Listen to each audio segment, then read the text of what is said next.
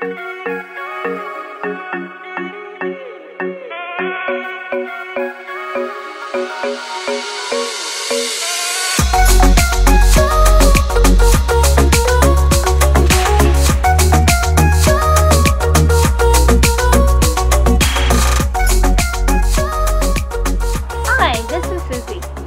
already made this box for Charles, and now I made one for me. I'm going to install it today. Thanks for watching. Would you tell our audience what it's like to do intros when I'm filming you?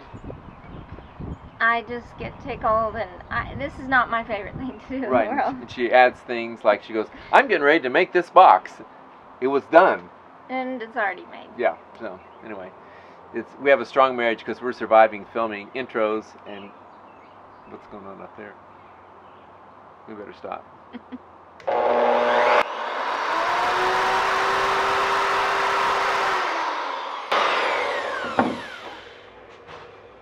So, what are you doing?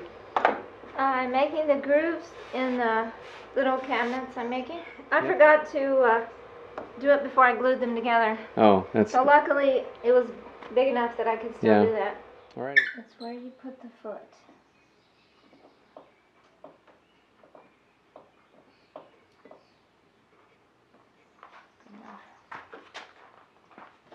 Did you say good enough?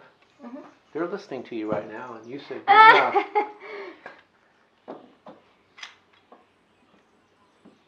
so my shirt's on backwards. Oh, woohoo! Okay, one more. I discovered that how you put the clamp on, it can lean it one way or the other. Blue is awesome. I guess if it's okay on the ends, it should be what you're doing now. Should be. Well, what's happening? Holy moly! I have a lot to say about this. What are these? Tell them what they are. This is the front, well, it's actually the front of the little cabinets, and you'll see I put a painted board behind it. I thought it would look really cool, but the first one looked really cool. The third, the second, third, and fourth are getting very annoying. I could have just painted the thing and left it, but it's been hours. I first started out making the holes with the drill, not planning where they're going, and it was a mess. I had to throw away. So then I planned where they went, and now I have to sand and sand, and then It's just the life of an artist. I already have it marked where I want to put it, and so I'm just gonna go ahead and put the brackets on, and then screw it into the wall.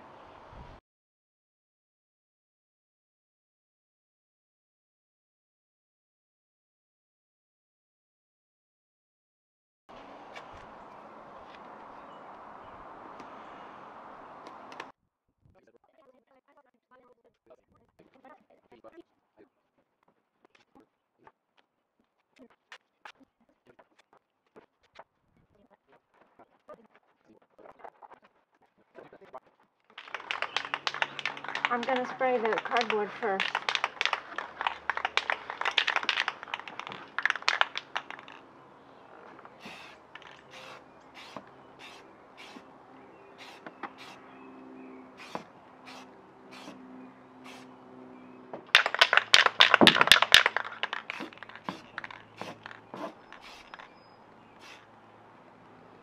Okay.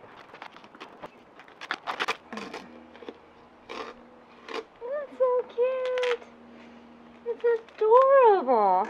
Should- I should have done this all at once.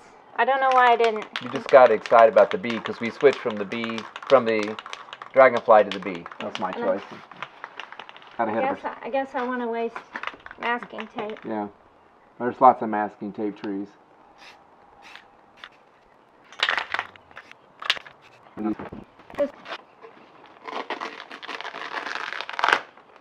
Oh, is that cute or what?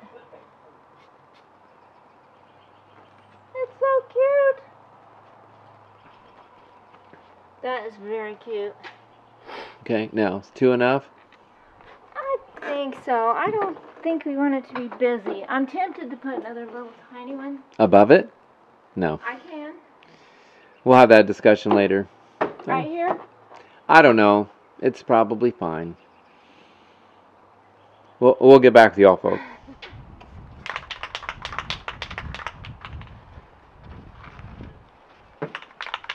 So we decide on one one more above. Uh, it's like the Indiana Grandma Moses. Getting braver.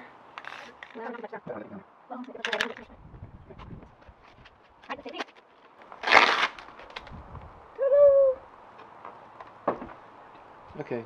I think that's, Perfect. I think that's a good little flower field hatch. It's perfect. Okay. Alrighty, you did The good. funny thing I noticed from back there is they look, the whole cabinet is like leaning, which is, that's just how the van is. Charles, a whole empty Uh, canvas. No, no, no, no. We're, we, you would say that about the outside of the van. Just do the finish of this part. Okay, okay. Well, I finished this, and now let me show you how I finished up the cargo door screen.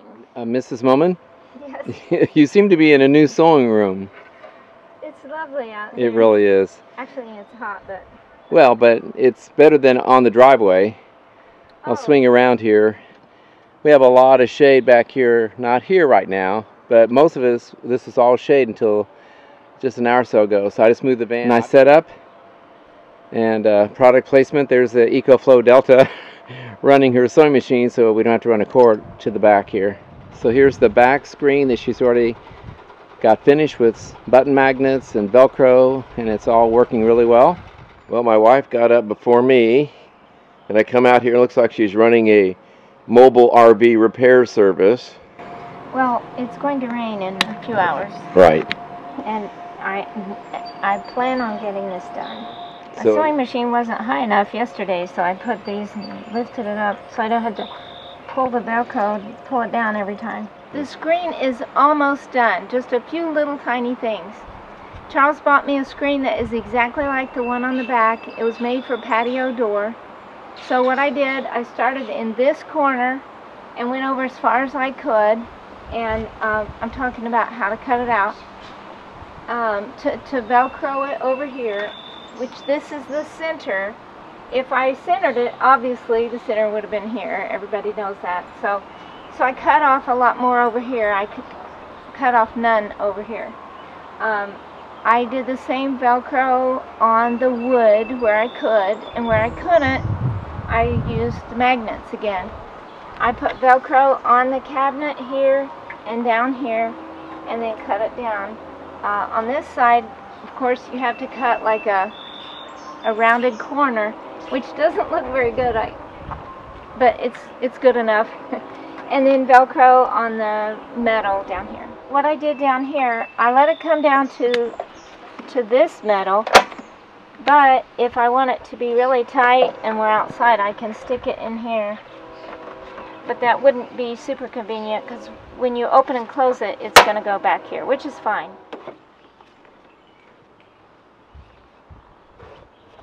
So uh, with with it not attached to the magnets, it's still it's still going to keep out the mosquitoes.